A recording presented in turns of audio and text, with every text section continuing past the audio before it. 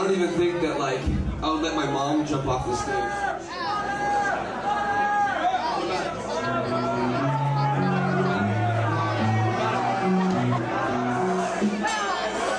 Jeremy McNally, stop jumping off the stage.